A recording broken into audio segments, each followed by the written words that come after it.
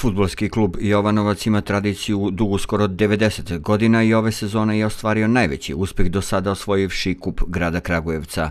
Na svom terenu koji je jedan od boljih u gradu, ovaj klub od sada dočekuje timove iz cele Srbije.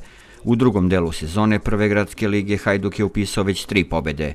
Iz kluba ističu dobru saradnju sa lokalnom samoupravom i veliku podršku imamo stvarno besprekornu saradnju. Osvojili smo, osvojili smo kup grada, to je najveći maltene uspeh, jedini kup grada koji je Hajduk osvojio u svojoj evo, 90 godina skoro istoriji, što sad sa tim idemo na zapadnu Srbiju, dobili smo priliku da igramo sa, sa mnogo jačim protivnicima, da dočekamo ovde kao slabije rangirani klub na, na našem terenu, da, mnogo jače protivnike, već 24. aprila dolazi nam ovde maltene gradski klub Morava iz Veliko velike, velike plane, znači napravit ćemo jedan spektakl.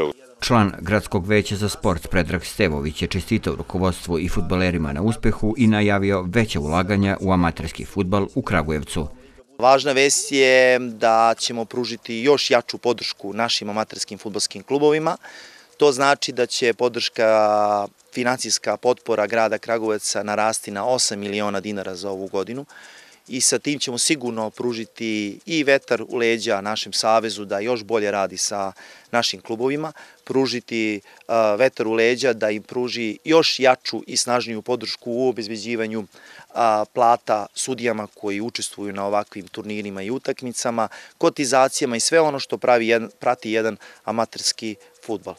U futbolskom klubu Hajduk odpočinje sa radom i omladinska škola futbala sa ciljem stvaranja nove baze iz koje će klub dobiti nove igrače.